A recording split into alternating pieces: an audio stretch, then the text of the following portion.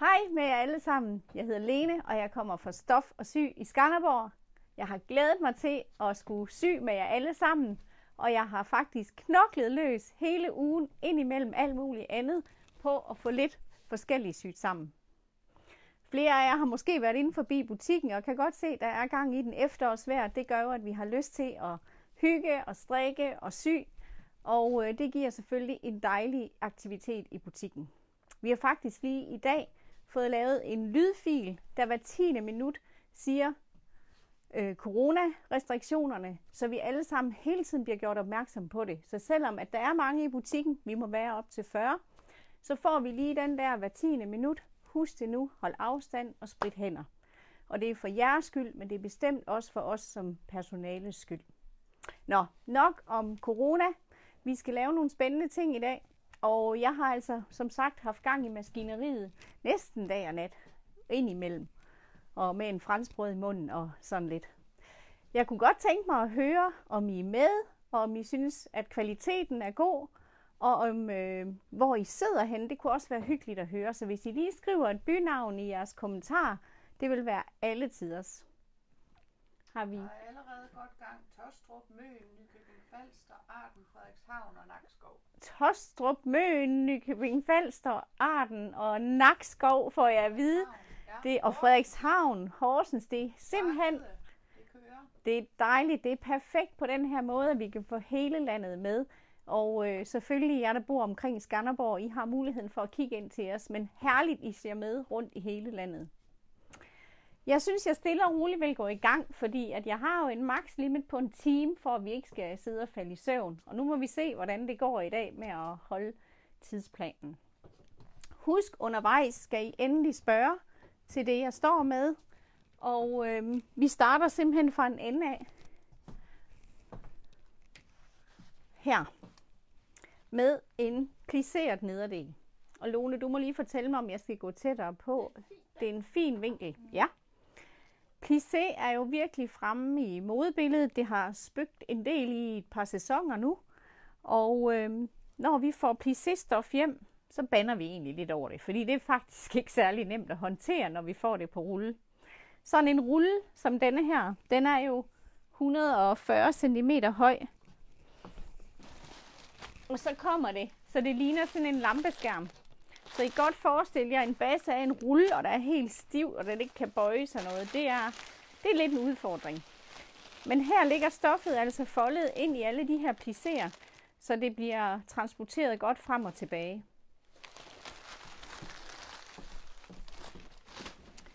Denne her plissé har altså en skyggeeffekt, det vil sige, at den er sådan en, en olivengrøn farve, og så med den der puder base i bunden, og sådan lidt batik camouflage -agtig. Rigtig fin og med en lille guldelastik, guldelastik i taljen. Og den elastik er simpelthen zigzagget henover. Vi har lavet en YouTube-video, som grundigt viser, hvordan man arbejder med plissé. Det er for eksempel, hvordan man sammensyr sømmen. Herom er der faktisk en sammensyning, og man kan slet ikke se sammensyningen. Og det har vi nogle fif til på YouTube-videoen. Også at man for eksempel bruger tape, når man arbejder i plissé, for at lægge låg på plisséen, når for eksempel elastikken skal på. Så det er en af nyhederne, denne her flotte plissé. Den er fra det øh, tema, der hedder Millibly. Og det er et tysk koncept, som vi fører. Det er et sy-mønsterblad, og det her er så nyt, at det ikke er nået at komme på vores webshop endnu. Det kommer på i løbet af næste uge. Fordi en ting er, at vi har bladet, men vi har også alle stofferne, der er med heri. Og her i har de faktisk vist, mener jeg, nej det har de ikke. Den var lige her nederdelen. Men ud af sådan et stykke stof af plisséen, der bruger man en hoftevide, og så er der nok til en kort og en lang nederdel, eller en børne- og en voksen nederdel. Så det kan udnyttes rigtig godt. Vi har et spørgsmål. Ja. Er lindingen på den plisserede nederdel? Hvordan lindingen er? Hvad den er? Ja. Det er en elastik, Spørgsmålet gik på, hvad det er for en type linding, der er på, og det er simpelthen nemmest at styre med elastik i sådan noget plissé. På vores side, sådan et stykke ned over under vores modeller, der, der er den. Øh, der kan man finde alle oplysninger. Ja, jeg får lige et stikord her, at inde på vores hjemmeside, hvis I besøger den efterfølgende, så har vi jo et afsnit, der hedder Vores Modeller. Og der ligger tingene lagt op med, hvad der er brugt. Øh, også for eksempel et link til denne her elastik. Det er sådan en flot sort elastik. Den har en blød bagside, og så med guld på forsiden. Det er den, der er brugt. Jeg vil lige, øh, inden jeg koger helt over, kort fortælle om min krave. Det var lige sådan et åndssvagt påfund, øh, som jeg havde lige sidst i aftes.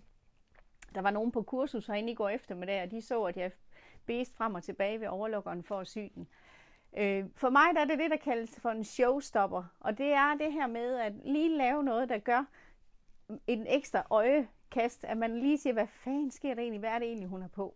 Der er rigtig meget snak om store kraver, og hvis nogen af jer har min alder eller lidt mere, så kan vi jo sagtens huske dem fra 80'erne med de store hvide skjortekraver, der også er med i modbilledet.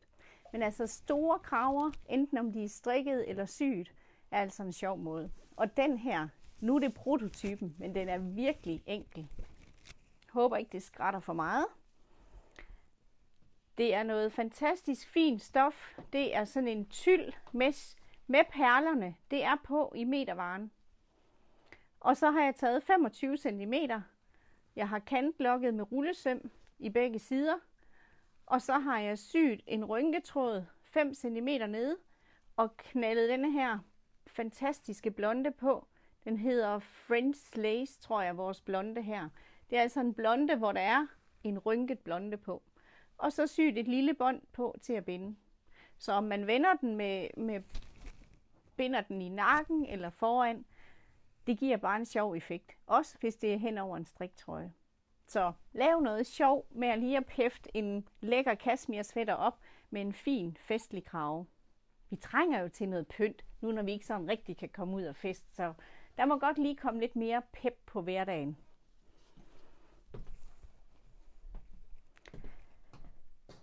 I forbindelse med bladene, jeg lige har nævnt, øh, Millie Bly er til voksne, og Little Darling er til børn.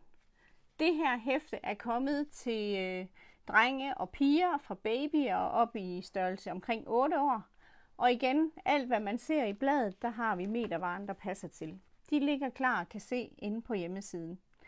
Nogle af de stoffer, jeg kan fremhæve, er der en, der vil hente den der tyrkise fløjl med pelsen. De er super gode til at lave de her printede rapporter. Denne her har prikker på bagsiden og en sød valros og nogle små søde motiver i kanten, hvor man så kan få sådan noget drengebluse omkring op til en størrelse 8 år i sådan en rapport. Up. Kom lige en basserulle her. Vil du ikke lige se, om den er med i billedet? Det er den måske. Det er godt. Der er en rigtig meget fokus på double face, altså stoffer, som har to sider. Det her er en rigtig flot fløjl i en ensfarvet lys petrol, og med denne her marcipanfarvede teddybeer på bagsiden. Og der laver man altså veste og jakker, både til børn og voksne. Kan I se ham, den lille gut her? Du skal lige bede folk om at tjekke, at de har slået lyden til på selve videoen, altså på selve afspilningen. Ja. For lyden virker. Det er sandsynligvis... Men det kan I jo ikke høre, jeg siger. Så det er I nødt til at skrive. Hvis nogen ikke kan høre, hvad jeg siger, så er I nødt til at skrive beskeden. ja. Øhm, jeg fortsætter, og så håber jeg, at jer, der har problemer med lyden, I kan fange den i. Filmen her bliver jo lagt op på YouTube efterfølgende. Her er der en lille gut i en lille jakke, netop i det her double face, og hvor man ligesom vender kanterne ud i sømne. Det er super smart, og det er det altså også til voksne. Så en hel del i double face med den her teddybear bagside. For eksempel har vi dem også i flot ternet fløjl og med fine teddybeer bagsider. Kan du snuppe den igen, Lone?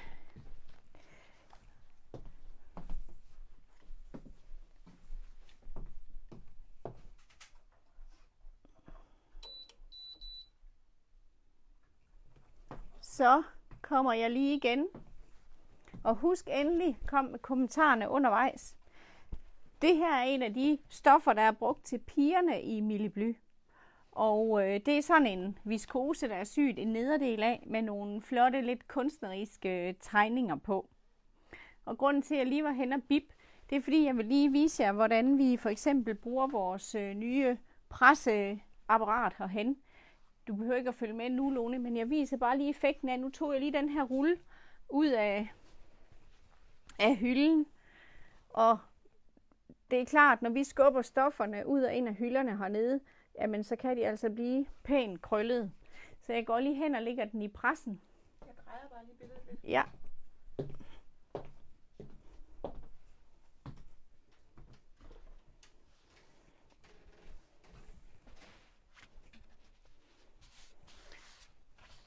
Nu er vi også en med fra Norge. Er vi en med for Norge? Ja.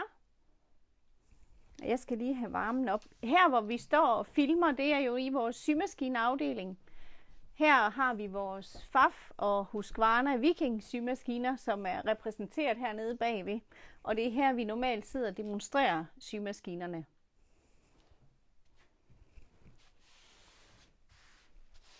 Og det er faktisk en god idé at høre efter, hvad jeg siger, fordi vi laver en lille konkurrence lidt senere, og der kommer der et spørgsmål, som refererer til noget af det, jeg har sagt i løbet af i dag. Skal vi lige se, om vi har varme nok på her. Dampressen, jeg står ved, er egentlig tænkt til at lave pressefolder i bukser, men det er måske begrænset, hvor mange pressefolder man laver i bukser. Men for os, der syr, der er den mega god til at blandt andet rette sådan nogle folder ud, og også for eksempel til at stryge fliseline på.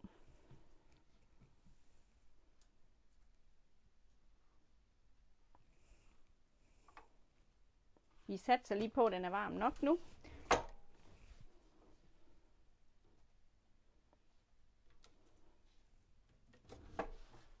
Og det var den så rigeligt. Se, med det samme fik jeg et fuldstændig glat stykke stof her. Og det er jo simpelthen fordi sådan en damppresse, den trykker 24 gange så hårdt som et almindeligt strygejern, altså vi kan gøre med strygejernet. Så tingene de bliver virkelig glattet ud.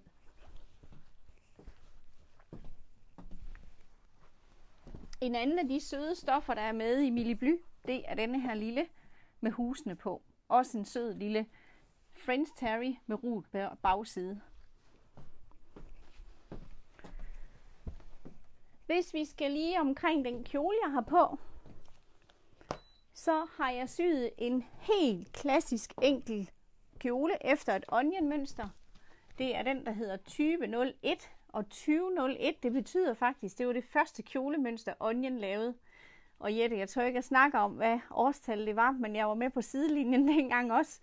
Og øhm, det er simpelthen en klassiker. Og det er jo det, vi skal, når vi syr. Vi skal lave nogle ting, som kan bruges igen og igen. Fordi det er noget af det, der er allermest bæredygtigt. Det er, når vi syr selv, og vi gemmer vores tøj, og vi fisker det frem igen og bruger det igen og igen. Eller også så klipper vi det om og syr det om til noget andet. Onions 2001 har jeg lavet her i et helt specielt stykke stof, som har sådan nogle brodyrelinjer. Denne her er på langs, og den er gentaget up til, og den er tung. Den er gentaget her i siden også. Ja. Og det er jo så sjovt at stå og kigge på sådan stof og tænke, hvordan kan jeg få det udnyttet til kjolen? Og her valgte jeg altså at udnytte det ned midt for og ned midt bag. Og så har jeg vendt ærmerne på tværs, så jeg har bodyren her på ærmet. Så bare halvanden meter stof har jeg brugt til denne her kjole. Er der en, der kommer med en flot smiley? Ej, det var godt. Herligt. Og så er det sådan lidt scuba-agtigt, og det vil sige, at det faktisk er kunststof ud af. Det var jeg lidt betænkelig overfor. Men indvendigt, nu løfter jeg lige op i kjolen, indvendigt er det altså en øh, sort viskose jersey. Så den har to sider, og det vil sige, at det er ind mod kroppen af viskosen, og så har den den glatte kunststof yderside, så den er behagelig herpå. Jeg har syet foldeelastik på kanterne, og det sidder perfekt. Og det er fordi, jeg har øvet mig. Og vil I også have perfekte folde elastikkanter, så skal I finde vores YouTube-film, hvor jeg giver nogle rigtig gode fif til at sy dem på, så det kommer til at ligge pænt glat. En anden ting, jeg har gjort her på kjolen, det er, at jeg har lavet flatlock opsømning her. Er det til at se over hovedet? Ikke rigtigt, men, Men- det kommer vi til lige om lidt. Ja. Flatlock, det kan I simpelthen lave på alle jeres overlockere. Uanset om den er 20 år gammel, eller det er en nyere overlockmaskine. Men jeg vil gerne vise jer, hvordan jeg har gjort. Ja.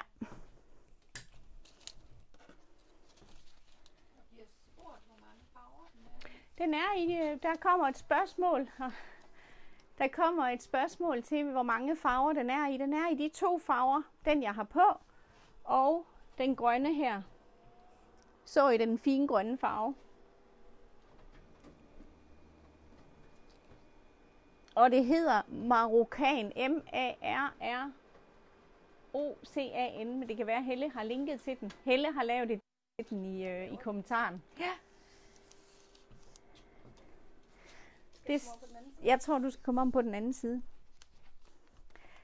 Sådan en, øh, et stykke stof her. Jeg sætter den lige lidt ned i varme. Sådan der. Det stykke stof her, der bruger jeg øh, Stretch Fix T30 til min opsømning. Først så sætter jeg øh, kanten på her.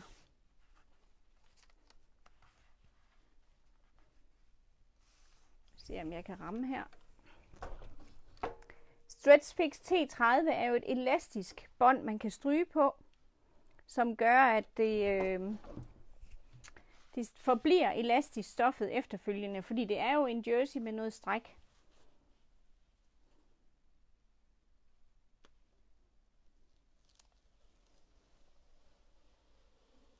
Sådan der, af med papiret.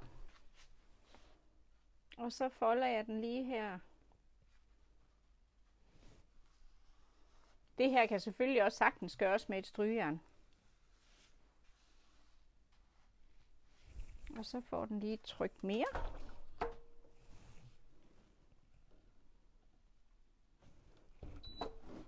Sådan her. Det vil sige, så nu har jeg styr på min søm. Og så tror jeg, du skal over og være ved siden af mig, Lone, og ikke falde i ledningerne. Det jeg har gjort ved mine overlokker, det er, at jeg har sat den på flat lock. Det vil sige så på denne her FAF Hobby Lock 2,5, der er det på F her på sømvælgeren. Og jeg har en stinglængde på omkring 3-4 mm. Og så har jeg en nål i. Og det er kun én nål, og den kan man vælge, om den skal være smal eller bred. Og så har jeg min søm, som er foldet nu, og så folder jeg en gang til. Så jeg nu har tre lag her. Og jeg har slået min kniv væk også. Der er ingen kniv. Den er drejet ned. Den trækker man jo til her sidder kniven normalt. Jeg trækker den ud og drejer den ned. Og så kører jeg altså ude i den fold her. Og jeg kører sådan rimelig langt ude i stoffet. Nu har jeg valgt nogle skrappe farver, for at I kan se, hvad, hvad det er, jeg gør.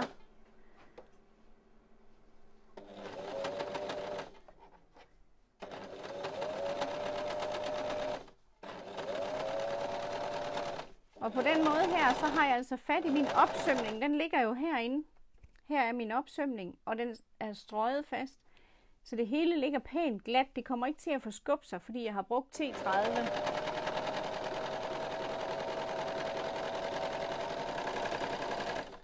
Jeg skal lige have fat i min yndlingssaks, fordi jeg har jo ingen kniv. Den var lige her. Så. Det vil sige, så nu har jeg min flatlock liggende her. Og så trækker jeg stoffet fra hinanden. Sådan her. Og så har jeg en fin flad søm her. Og den har fat i min opsømning herom bagpå. Så den holder fast i sømmerummet. Så på den måde kan I altså lave en flot søm. Nu den her er jo spraglet, men det er jo for, at I kan se, hvad der foregår. En flot spraglet søm her, og så er den lagt op, fordi nålen har fat her på bagsiden. Det er også en, vi har en grundig YouTube-video. Men jeg tror, mange tror ikke, man kan lægge op med sine overlokker, så jeg synes, det var et vigtigt fif, I lige skulle have med i dag. Husk at drikke kaffen der, og måske I også får en kage til.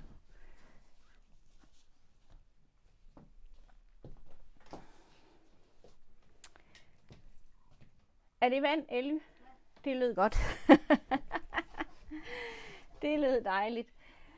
Der er rent faktisk, jeg ved ikke, om I kan se det, når Lone går. Der er altså to ekstra spot på, ud over det lys, vi har her, for at give jer det bedste lys. Og det giver altså noget varme. Det bliver lige vand i stedet for kaffe i dag.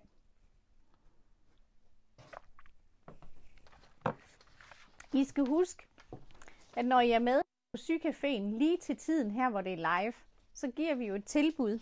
Og nu skal jeg lige læse ordentligt, hvad der, der står. Det er en rabatkode, så hvis I bliver fristet af nogle af de ting, I har set her, enten om det er tilbehøret, eller om det er en lækker symaskine, eller det er giner, eller damprak, eller om det bare er en markeringspind, whatever, så kan I putte det i kurv ind på vores hjemmeside. Og den her kode, den gælder frem til den 4. oktober, det er i morgen, 23.59, altså den gælder i dag, lørdag og søndag. Man lægger varer i kurv, man taster sin adresse ind, og så kommer der et felt, hvor der står rabatkode, og der skal I med store bogstaver skrive efterår 2020, og så er det vigtigt at trykke indløs. Der er sådan en lille felt ved siden af, at man skal aktivere koden. Og så får I 10% rabat på det, I har set her, og på alle andre varer, bortset fra dem, der i forvejen er nedsat. Jeg skal nok nævne det igen senere. Er der spørgsmål? Nej. Så er der en anden ting, som jeg også har nået at sy i denne her uge. Og det er et onion-mønster, som er super godt på mange punkter. Det er det onion-mønster, der hedder 3034. 3034. Det er et mønster, der er øh, anbefalet til strækstoffer, og der er tre forskellige vider. Der er en penselskørt, en stram nederdel, der er en A-linje, sådan lige med lidt mere vide, og så er der en vide nederdel. Inden den forsvinder i skærmen, er jeg simpelthen nødt til at læse en hilsen op, jeg har fået. Vi har lige fået en hilsen. Det er simpelthen en fornøjelse at følge dig og lære alle dine fif. Specielt fordi jeg stadigvæk er helt ny til at sy. Du er rigtig god til at vise og forklare. Tak for det. Jeg ved ikke, om I kunne høre det, men det var lige nogle rosende ord, som jeg jo godt kan blive lidt rød i kinderne over. En roser vores øh, fif og vores videoer, og at siger, at jeg er god til at forklare. Jeg kan ikke huske, om jeg har nævnt det tidligere, men i skolen fik jeg jo at vide, at jeg øh, skulle blive telegrafist, fordi når jeg skulle skrive en stil på fire sider, så skrev jeg 10 linjer, og så behøvede jeg ikke at skrive mere. Men jeg havde faktisk fået det hele med. Og jeg tror, det er det, der kommer til gode, når man skal videregive informationerne om, hvordan man skal sy. Det er, at det skal bare være kort og præcist. Så det er dejligt, at I har glæde af den derude. Nå, tilbage til nederdelsmønstrene. Fordi hvorfor jeg står med to er, denne her 3034, den hedder størrelse extra small til extra large, men den er også lavet fra størrelse extra large op til 5 extra large. Og det vil sige, så her har vi altså et mønster, der giver plads til os alle, og den er bare super god i mange forskellige elastiske materialer. Jeg har syet den hvide nederdel op, denne her, som er den med hvide i. Og den er super enkel. Der er altså ikke mange minutters syning i den. Og den har det her lille hoftestykke, der er lidt bredere foran og lidt smallere i siden. Stoffet her er altså også sådan en, hvis man laver nederdel i denne her velour med flokprint. Jeg ved ikke, om I kan fornemme det, når jeg står her og svæver med den. Men der er jo det her blomstermønster ind i velouren. Det giver altså også bare en klassisk nederdel, man kan bruge igen og igen gennem rigtig mange år med alt muligt forskelligt til det øverste. Øh, det er nemt at sy i, meget taknemmeligt, og vi har brugt vores hulelastik.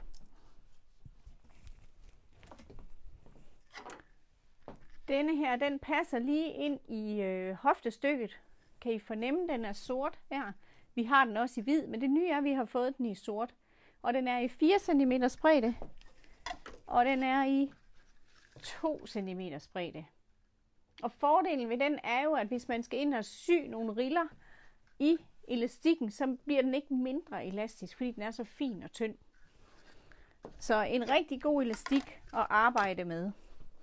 Øhm, det her er faktisk en af mine gamle nederdele i det her mønster. Og den hiver jeg jo frem i skabet igen, fordi vi nu snakker suede og ruskin igen. Og her er det den samme model, den hvide model, pyntet med, øh, hvad hedder de, cover stitch stikninger, ganske enkelt bare her nedover. Og den, jamen det er måske fire eller fem år siden, jeg har syet den, men den skal jo frem i den her vinter igen, fordi den bare passer ind i stilen igen i år.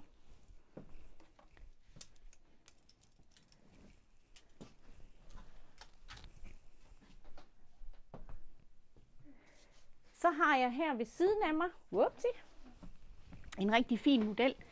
Gider du hente den gine? Kan du bære den? Ginen. Ja. Den er helt oppe i døren. Øh, her har jeg lige taget en gine med ind i vores lille studie. En gin er rigtig, rigtig rar at have hos sig i sygeværelset, når man syr. Jeg nyder faktisk, hvis ikke jeg bliver færdig med det, jeg syr, og gå hen og få det hængt på ginen, så det bare hænger pænt til næste gang, jeg skal arbejde videre. Og så hver gang jeg går forbi mit sygeværelse, så kan jeg lige kigge ind og rette, og er der noget, og skal den have noget, et andet ærme, eller tages lidt i skuldersømmen. Så det at have en gine i sit sygeværelse, det er et utrolig rart redskab. Og den type gini, nu løfter jeg lige op i kjolen her, det er jo den type, man kan stille ud i øh, hoftevide, taljevide og overvide. Blusen her, hvor det fint derovre? Blusen her, jeg har syet, er øh, en peplon bluse. Det er også igen onion. Og det er det nye mønster. Det passer ikke. Der var den. Det er det nye mønster for onion, der hedder 2088. Det er faktisk en kjole. Men jeg har lavet den i blusefasongen. Og den øh, har de her lidt volumøse linjer. Sådan lidt skulpturelt. Det er et øh, foret ballonærm, det vil sige, at den er dobbelt og med en masse rynker her. Og det giver altså det her lidt struttende ærm. Der er meget fokus på skulder og ærmer i det hele taget. Og så har den en rynket flæse her, som er sat til. Og det er jo så den, der kunne være lang, hvis det var til en kjole. En flot V-hals, der ligger rundt her, og den er syet med, øh, med en belægning. Her valgte jeg at lave nogle broderier på stoffet, så det er altså noget, jeg har placeret. Og den her gang valgte jeg at gøre det anderledes. Jeg tog og klaskede tre batteri, batterier, det hedder det ikke, broderier, ud over mit stof, inden jeg klippede. Uden at tænke over, at den skal være der, og den skal være der. Jeg lavede simpelthen bare tre broderier, fordelt ud på min, min mængde stof. Og så klippede jeg blusen. Den her kiggede jeg lidt efter. Den ville jeg gerne have her. Resten har jeg bare klippet og lukket øjnene for, at jeg klippede et broderi over. Og tanken for, om det kom på et ærme eller på ryggen, eller hvad det gjorde, lukkede øjnene over for. Så det er en anden måde at gribe an, fordi nogle gange, hvis vi skal lave noget pynt, så er vi helt skæve i hovederne om at få tingene placeret lige der, hvor de skal. Så det her var den modsatte vinkel. Lav broderierne først og klip bagefter.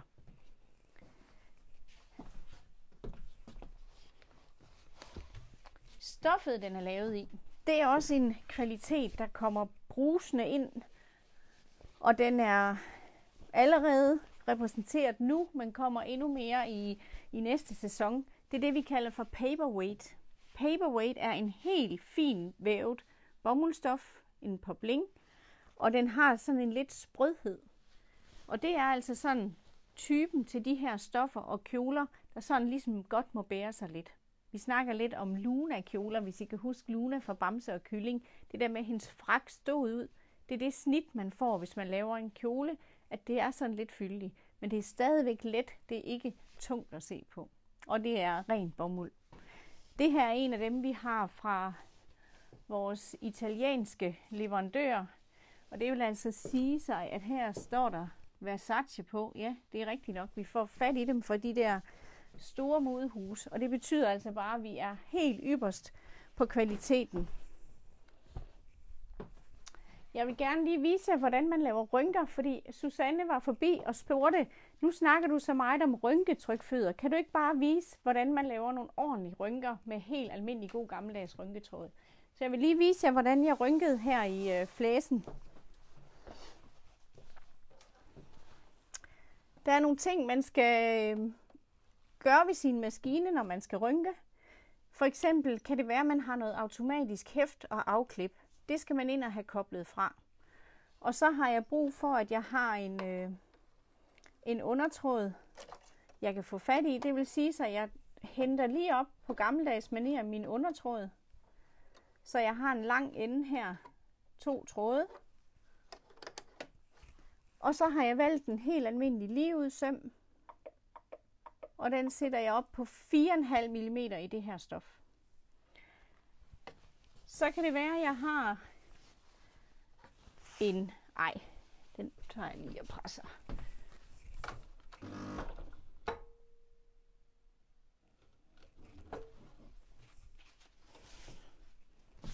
Så blev den glat.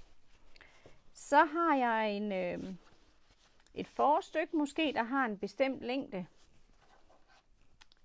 Og der markerer jeg lige mit, min midt for.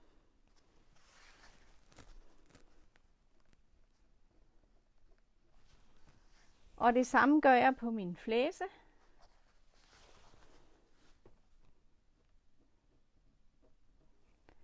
Og så er der nogle gange, jeg har snakket meget om, at man skal bare lave hak. Men når man laver rynker, så kan de der hak altså gemme sig. Det jeg bruger her, det er min øh, Clover øh, hvide markeringspind. Det er også en, en pind, man kan stryge væk, men det smarte er, at den er hvid. Den er lidt sjov at arbejde med, fordi lige da jeg startede med at tegne, der kunne man egentlig ikke lige se det. Men så vokser stregen ligesom ud af stoffet, så jeg får en tydelig markering. Og så er jeg klar til at lave min rynketråde. Den første, den kører jeg sådan cirka 0,75 inden, ud fra det, at jeg har lagt en centimeter sømmerum til mit projekt. Og jeg har altså min over- og min undertråd her, der strider ud. Og så kører jeg simpelthen en tur hen langs med.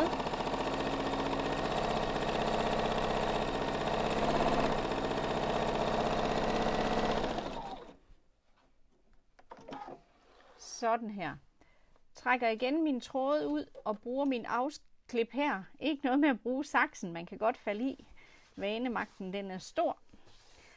Så kører jeg en rynketråd mere, og den kører jeg så cirka 1,2 cm ind. Og det vil sige, at jeg får sådan et spor imellem de to rynketråde.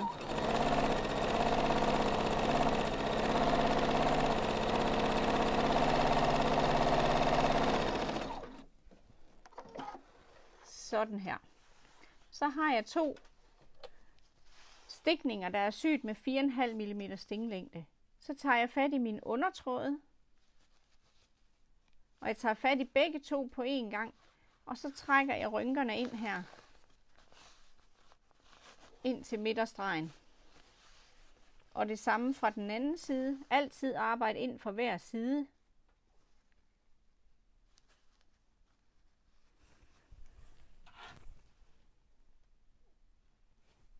Så kan jeg få fat i dem her.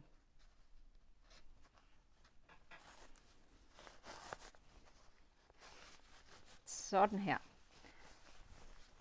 Så har jeg rynkerne her. Og så lægger jeg den ret mod ret på mit måske forstykke. Og så har jeg her min markering, jeg skal have til at passe sammen. Så sætter vi lige stinglængden ned igen.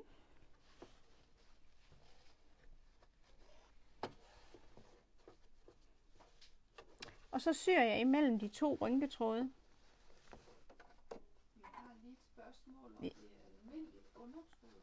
Ja, det er rigtigt. Der kommer et spørgsmål, om det er en speciel undertråd. Og det er altså helt den samme sytråd, jeg bruger i både over- og undertråd. Så det er ikke noget med elastik den her gang. Det er helt almindelig sytråd. Men det, at man syr med de der lidt lange sting, gør, at man kan trække de her rynker Og så syr jeg simpelthen imellem de to stikninger. Og den søm, jeg syr nu, er jo den, der kommer til at være den bærende øh, søm.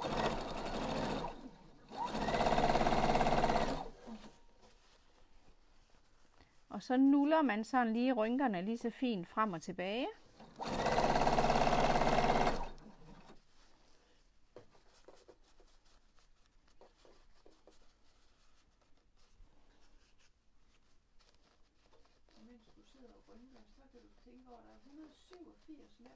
Hold nu op. Jeg får lige at vide, at vi er faktisk 187 mennesker samlet lige nu. Det er vildt og rigtig, rigtig herligt. Dejligt, at I har lyst til at dele lørdag eftermiddag sammen med os, selvom det er på andre omstændigheder, end vi plejer. Nu måtte jeg godt bruge saksen, for det her var jo ikke min rynketråd. Så nu har jeg nogle rynketråde her, to løse rynketråde, og jeg har en syning.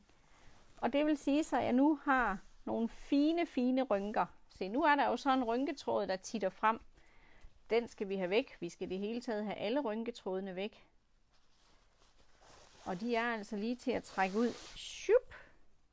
Væk med den. Sådan der. Og på den måde, så har jeg nu flotte, fordelt, ens fordelt rynker her på mit forstykke. Så gør arbejdet grundigt og lav to, to rynketråde. Det giver altså en jævn fordeling af rynkerne. Og husk, markeringerne de er mega vigtige, når det er, man skal have det jævnt fordelt. Det var lige et fif til, hvordan I rynker.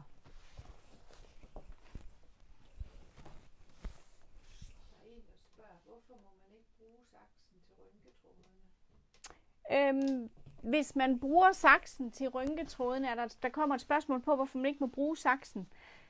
Øh, så er enden simpelthen så kort, at der er ikke noget at tage fat i til at rynke i. Jeg synes i hvert fald, at den bliver for kort. Så jeg kører på gammeldags manér og trækker tråden ud og bruger min kniv på symaskinen til at skære tråden af, så jeg har noget at tage fat i.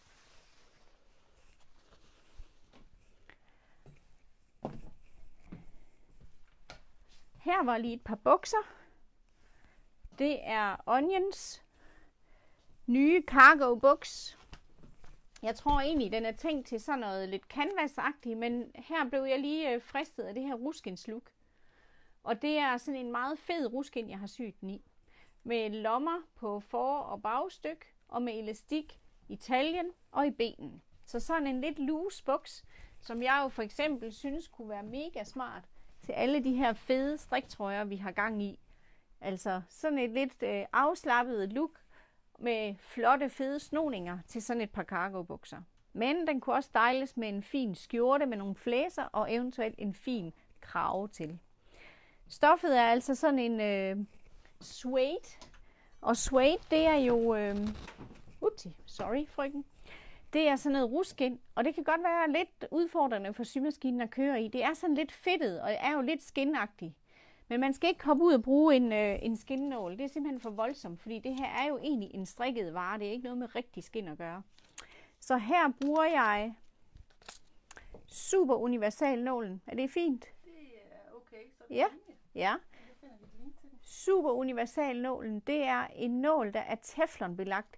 Den er helt sort nålen, og det er simpelthen fordi, den har en belægning, som gør, at det ikke hænger fast i skinnet. Så hvis I oplever, at I syr i noget stof, som er sådan lidt fedtet at arbejde med, og I ligesom får nogle lange sting, jamen så vil en super universal nål være rigtig god at bruge. Den findes i både 80 og 90 i tykkelsen, og den øh, gør, at man ikke taber stingene i sådan nogle lidt fedtede materialer.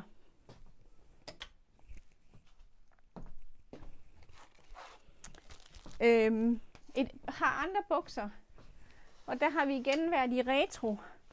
Det er øh, også nogen, jeg syede sidste år. Øhm, leopard. Igen, igen, igen. Det ruller frem og tilbage med det her vild, vilde dyr. Men igen kommer det susende ind fra højre, han har sagt, og, øh, og have leopard enten i små bidder eller som her i et par bukser.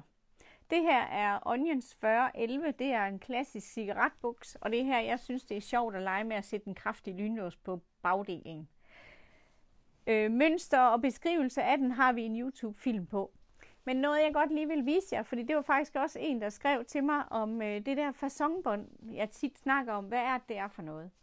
Fasonbånd, det er, når jeg vil lave sådan en chubang-løsning her af et par bukser. Jeg kan lave dem her i, ja, på ret kort tid, fordi man hverken skal klippe lindinger eller noget som helst, når man bruger fasonbåndet. Så fliseline og alt det der, det springer vi over.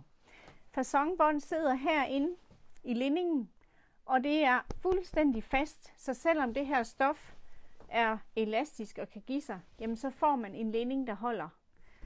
Så jeg skal lige vise jer, hvordan man syr fasonbånd på. Er du frisk på det, Lone?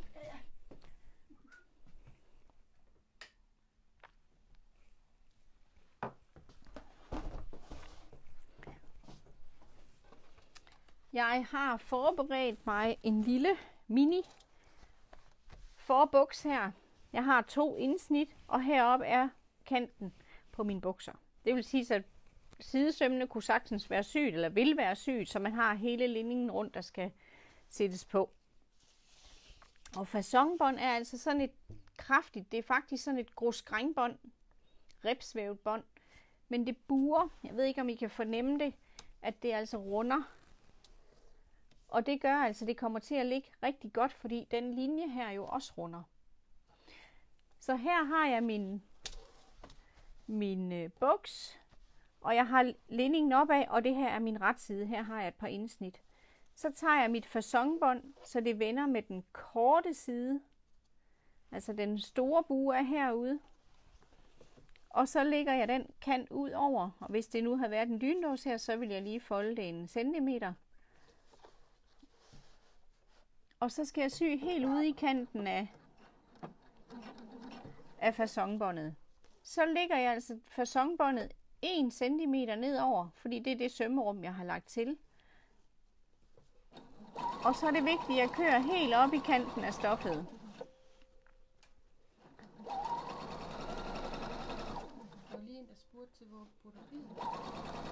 Nå, jeg får lige spørgsmålet om det broderi, der var på blusen. Det har jeg fundet på min Faf Icon. Det var en af dem, der kom i, øh, i blokken, som øh, kommer direkte ind på maskinen. Så det er et Faf broderi.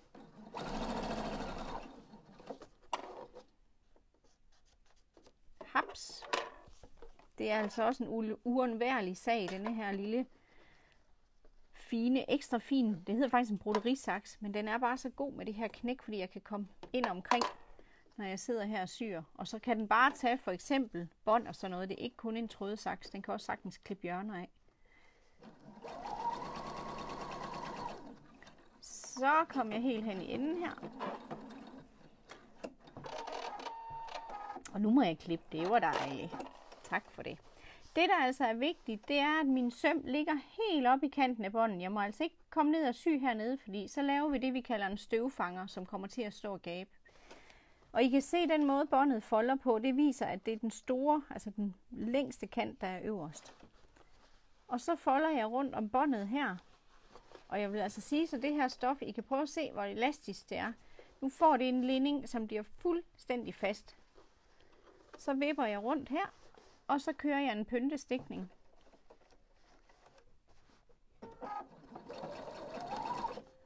Og den kan jeg jo så afhænge af materialet og stilen, om den skal være helt smal, eller, den skal være dobbelt, eller som her en, en 4-5 mm fra kanten. Så jeg sørger bare for at trække stoffet ned, og båndet kommer ikke til syne heroppe, fordi jeg var omhyggelig med min første stikning.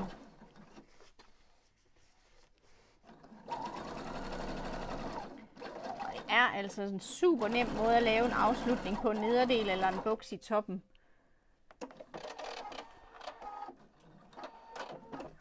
Se, nu har jeg her fuldstændig fast linding. Og så ligger fasonbåndet herinde på bagsiden. Og sømmerummet er gemt væk. Så en rigtig nem måde at lave en fast linding på. Hvis jeg nu lige skulle lægge min... Øh... Skal du sige mere? Ja, fordi jeg tænkte lige, at jeg vil lægge den op, den her lille nederdel.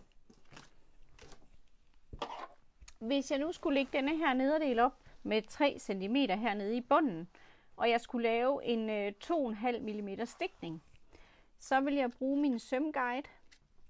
Det her det er en selvklæbende sømguide.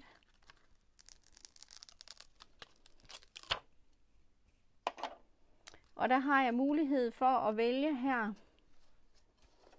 på min øh, lille plade her. Der kan jeg gå ind og køre nålen ned. Sådan der. Og så placerer jeg simpelthen min sømguide.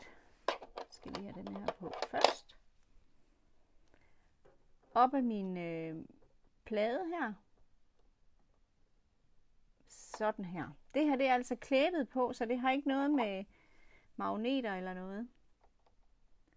Og så kan jeg lige forlænge den. Så nu har jeg et styr, der passer fuldstændig til den afstand, jeg havde planlagt. Og så kan jeg lægge mit stof ind herunder. Det er lidt noget snyd, for jeg har jo ikke kantet min øh, søm inden, men det går nok. Og så får jeg her den samme afstand hele vejen, når jeg syr op. Fordi jeg er fuldstændig styr på kanten her til højre. Og på den måde kan jeg få lov at køre med fuld skrue. Det er det, jeg godt kan lide. Og så ved jeg alligevel, at jeg får en fuldstændig lige stikning, når jeg ligger op. Det var lige et øh, sidespring, men sømguiden her giver altså nogle gode muligheder. Må jeg godt gå tilbage nu? Nu må du godt gå tilbage, tror jeg. Husk at komme med spørgsmålene undervejs. Og drik noget kaffe og spis noget kage og hygge jer i jeres syrum.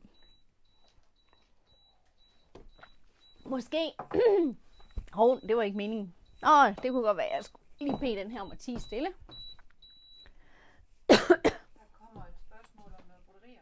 Ja, Er der så ingen, der laver CD'er med broderier, man kan sætte på sin broderimaskine? Nej, altså CD'er med broderier, det er altså en saga blot. I dag der downloader man broderierne fra de forskellige broderi-hjemmesider. Em- My Embroidery hedder øhm, Husqvarna og Faffes broderiside. Blive nedlagt. Stadigvæk, når man går ind på Faf og Husqvarnas hjemmeside, så linker de til deres broderi hjemmesider. Og øh, det er den vej igennem, man kan hente sine broderier ned.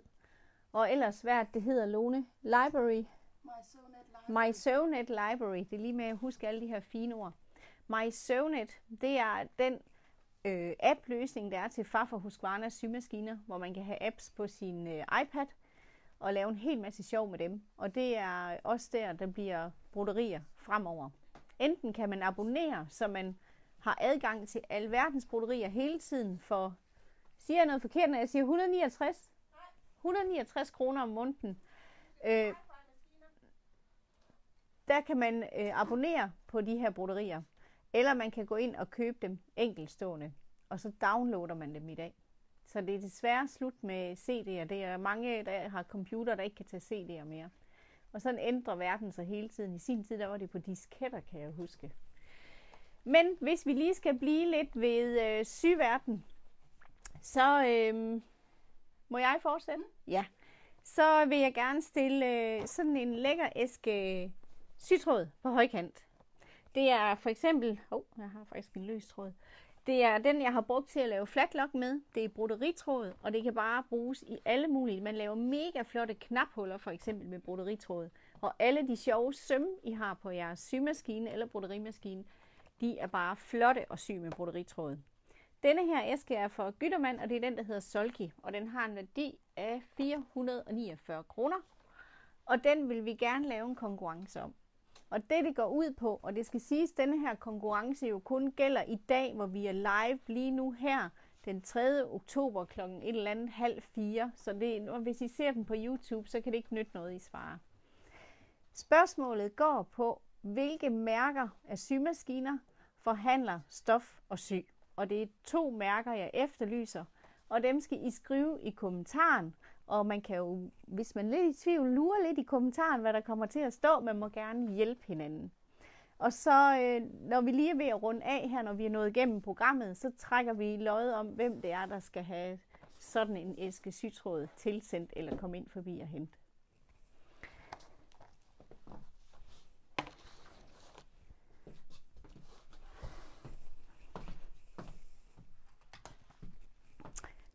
Så er der gang i fløjl også. Fløjl, og det er simpelthen alle bredder, om det er helt ultra fin babyfløjl, eller mellemriffelfløjl, eller mere kraftig fløjl. Det er i et utal af bredder og farver. Vi har hentet vores i Italien, og det er luksusudgave af fløjl. De er så bløde og lækre. Jeg tør godt sige, at den anden dag, da en af pigerne stod og dublede en rulle, vi får dem jo leveret på hele ruller, så står hun og dubler rullen, og lige pludselig kom der et brøl, hvor jeg sagde, helt ærligt, var det der en screaming orgasme? Nej, men den er bare så lækker blød, kom det så.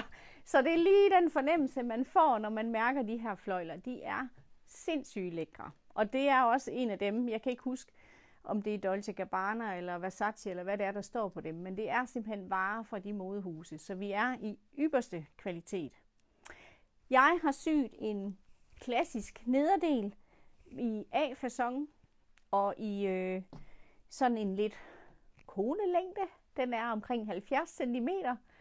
Øhm, her er den så lavet lidt sjov med at sætte et par lommer på, der stikker af. Men vi holder os stadigvæk fuldstændig klassisk. Der er en fasonsyet linding på, og der er nogle fine knapper. Og lidt sjovt med at sætte en pynteknap på lommen og nogle andre knapper midt for og midt bag. Da jeg skulle lave de her knaphuller, så havde jeg brug for at måle op. Og der har jeg jo en smart sag til, når jeg skal måle knaphuller op. Hov, oh, den fløj ud over det hele. Kommer der nogle besvarelser, Helle? Mega meget. Mega mange besvarelser. Har de regnet det ud? Det er jo godt. Kan I godt se her på... Fungerer det? Nej, vi lukker lige fotografen til at komme hen. Komme lidt nærmere på. Fordi når jeg skal placere sådan en række knaphuller her, så har jeg sådan en knaphuls afstandsmåler. Den hedder Simplex, det er sådan et flot navn. Og det er sådan lidt Storm P. Den her, den kan jeg trække ud. Og det vil sige, så når jeg havde denne her afstand, jeg gerne vil have, her tror jeg det var 10 cm. Jamen så lægger jeg den her op, og så har jeg min markeringspen til at sætte mine prikker ud for mine knaphuller. Og så får jeg den samme afstand. Jeg kan også bruge stregen herinde i til at lave en markering med markeringspinden. Så et knaphulsmål, der gør, at man har mulighed for at markere både til, til knaphullerne, og når jeg skal måle, måle op til, hvor knapperne skal sidde. Super herligt øh, remedie at have, når man skal sy, og så må se, om jeg kan slå den sammen igen. Den kommer lige så stille her. Sådan der. Så den gør, at vi får nogle ens placeringer hernede igennem til mine knaphuller. Knapperne er syet i på maskinen, og det skal I også lige se. Det var rent faktisk Lise, som jo er forholdsvis ny hernede, der gik forbi, da jeg syede knapperne i, og siger, what? Syr du dem i på maskinen? Selvfølgelig syr Line de der knapper i på maskinen, for I ved jo, jeg har allergi over for håndsynål. Det går ikke ret godt med håndsynål. Alt, hvad vi kan proppe ind i den symaskine, det fungerer. En knaphulsfod er en god ting at have. Nu tager vi lige vores lineal af igen. Og et eller andet, nu er jeg faktisk ved at have lige så meget rod som hjemme i min egen systue. så føler man sig hjemme, og det er hyggeligt. Gå ved, hvor jeg havde lagt mine knapper.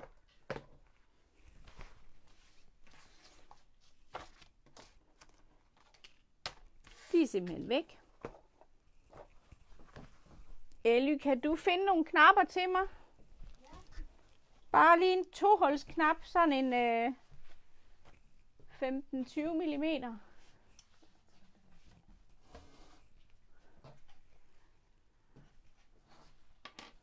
Imens vi lige finder knapperne, så får I lige historien om det, der ligger her. Det er faktisk en hemmelighed. Så I må ikke sige det til nogen.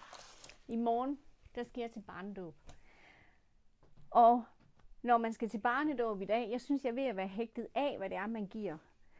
Og, øh, og jeg var rundt omkring forskellige ting. Jeg elsker at give Halvstans Rasmussens børnerimsbog, men den må vi jo snart ikke læse i, for der står noget om en hottentot og alt muligt. Så øh, Jeg har syet til denne her barnedåb et sæt sengetøj i Liberty.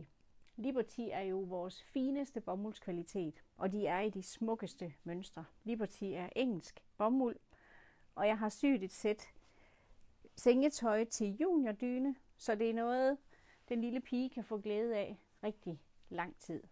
Og nu håber jeg, at det holder, hvad jeg har hørt, at hun skal hedde Kaja, fordi det er det, jeg har broderet lige her på et lille bændel. Så øh, vi må se i morgen, om det er rigtigt, at øh, pigen skal hedde Kaja. Der er små, flade perlemorsknapper i, så der er ikke noget voldsomt at ligge på. Og det er bare ultra lækkert i Liberty bomuld. Så, men I må ikke sige det til nogen, for det er først i morgen, hun skal have det. Fandt du en knap, Elge? Den her, den er rigtig fin.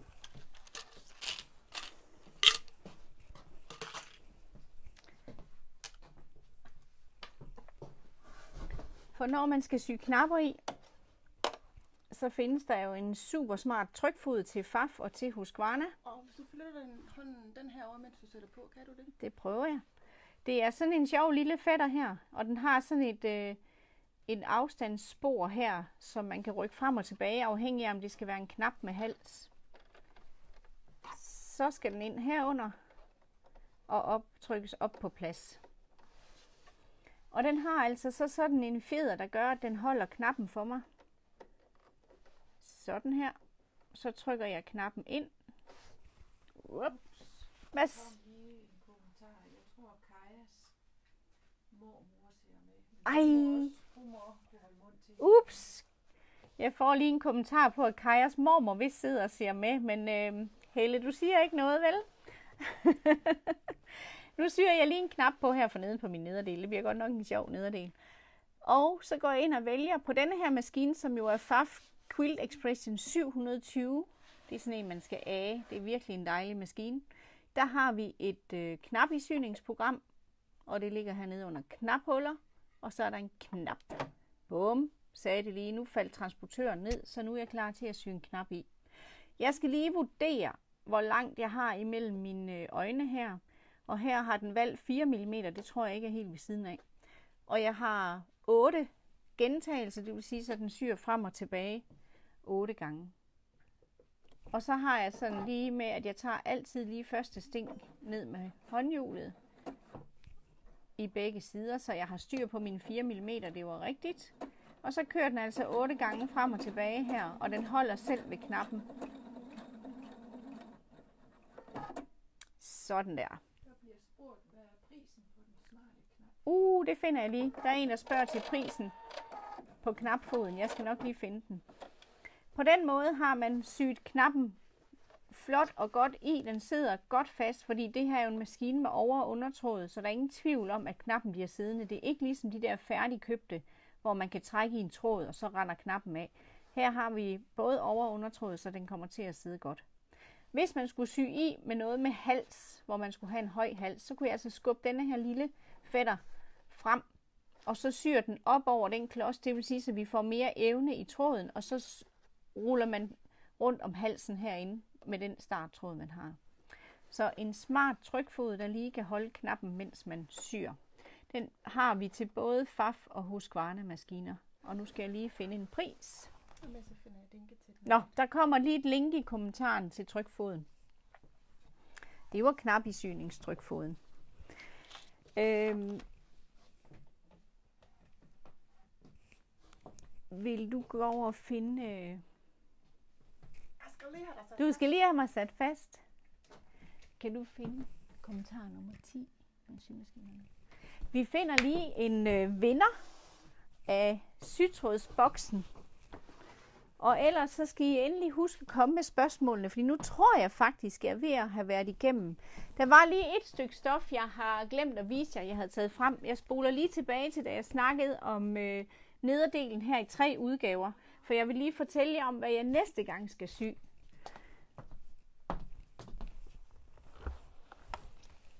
For vi har fået en ny type stof. Eller en ny type stof, det er så meget sagt. Men det er de her heavy jersey puntorer, altså som er kraftige jerseyer. I kender nok her, når I kan se bagsiden, den her lidt faste udgave af en jersey. Det I desværre ikke kan fornemme her på, øh, på øh, skærmen, det er, at den er opkrasset på forsiden. Altså lidt ligesom flonel. Så blød og lækker på forsiden, men helt glat her på bagsiden. Så vi har den der fasthed i, øh, i stoffet, men blødt og lækkert og hyggeligt. Det skal jeg have lavet mig en pensilskirt efter det her mønster.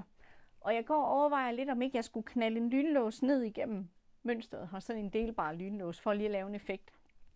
Det har vi faktisk en video på inde på YouTube, hvordan man laver det med lynlåsen ned igennem. Så det bliver mit næste projekt. Og ellers så tænker jeg, måske jeg har fået, har jeg fået et navn, der er heldig vinder.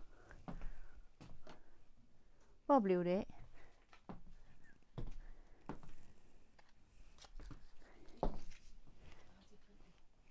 Ja. Så har vi trukket en vinder i blandt alle de rigtige kommentarer, fordi svaret på spørgsmålet om, hvilke to symaskinmærker man kan finde her i Stof og Sy, det er jo FAF og Husqvarna Viking. Den heldige vinder er Bente Barsdal. Tillykke, Bente.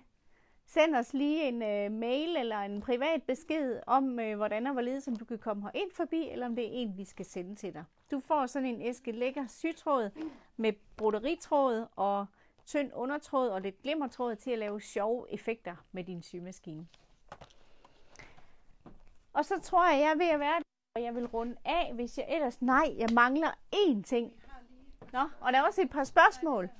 Må jeg ikke lige tage... Jeg tager min ting først, så tager vi lige spørgsmålene.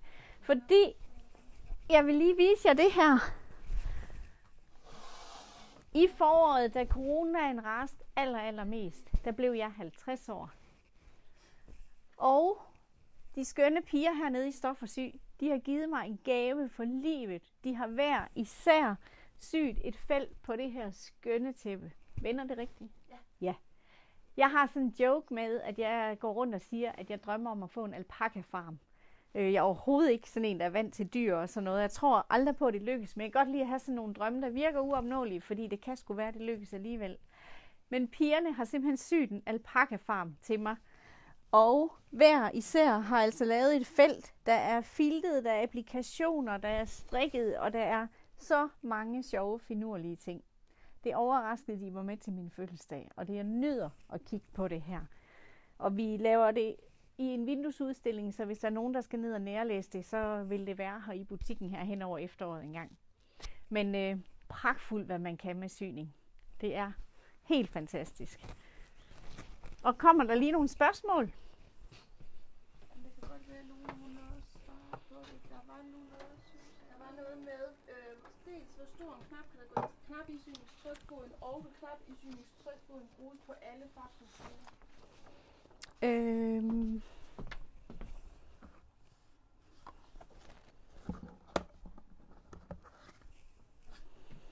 Knap, øh, der var et spørgsmål til, om knap i syningstrykfoden kan bruges til alle FAF-maskiner, og der kan jeg næsten sige ja.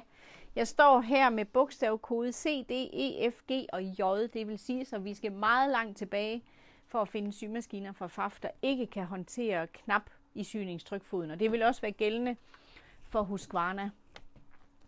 Øh, husk nu, at der er en rabatkode. Har I følt jer underholdt og vil I støtte op om Stof og Syg, så kunne I handle på vores webshop her i weekenden. Frem til i morgen, den 4. oktober 2359, giver vi 10% på hele vores sortiment. Uanset om det er symaskiner, sådan en lækker fætter her, giner, øh, så får I altså 10%. Det gælder ikke på varer, der i forvejen er nedsat, og I skal skrive koden når I når frem til at taste navn ind efter år 2020, og det skal skrives med store bogstaver, og husk at trykke indløs. Og en anden lille ting, jeg har glemt, det er, og det er lidt lokal øh, info, fordi vi har ryddet op. Vi har ryddet op i vores øh, gamle giner, og vi har faktisk lidt en overflod af de gamle giner. Så vi har øh, samlet nogle sammen, som er på fod, og det er dekorationsginer, så her kan man ikke stille ind og ud. Dem sælger vi til 150 per styk. dem kan vi altså ikke sende online, for vi har ikke noget at sende dem i, så det vil kun være til folk, der kommer forbi i fysisk handel. Men vi har nogle stykker af de her dekorationsskiner, som kan pryde hjemme i jeres systue. Var der flere spørgsmål? Øh, hvor store knapper man Åh, hvor store knapper. Ja, det er et godt spørgsmål. Altså, jeg vil skyde på, der er et spørgsmål, der går på, hvor store knapper, der kan gå ind i øh, knapisyningstrykfoden. Jeg vil skyde på noget med en 35 mm eller sådan noget. Jeg kan i hvert fald skubbe den her knap langt ind. Og det vil sige, så hullerne kan være... Øh, jeg vil skyde på omkring 30-35 mm knapstørrelse. Ja, så tror jeg, det er ved at være det for i dag. Hen og gribe fat i symaskinen, få noget kreativt ud af det, og altid vigtigt, komme med spørgsmålene til os undervejs. Vi varmer op til en ny sycafé om en lille måneds tid, så rigtig god weekend derude, og vi takker af her for Stof og Syg i Skanderborg.